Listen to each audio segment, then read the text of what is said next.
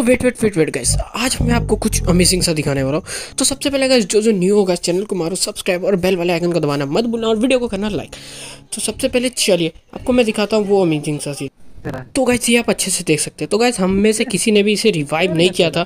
इसे हमने नॉक की हालत में पानी में लाके छोड़ दिया था। पर अब गाइस देखो ये अपने अपने ही रिवाइव हो चुका है। पता नहीं यार ये कैसा ग्लिच था पबजी का।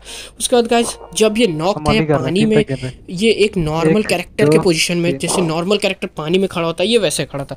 हाँ, उसके बाद जब हमने इसे मॉली किया तो वो ग्लिच ठीक हो गया और ये नॉक के पोजीशन में आया और ये फिनिश हो जाता है। तो गाइस पता नहीं गाइस पबजी मोबाइल में कैसे कैसे ग्लीचेज आ रहे हैं पबजी मोबाइल बीजीएमआई में। तो अगर आपको इस ग्लीच के बारे में पता था तो प्लीज़ कमेंट करके हमें ज़रूर बताना।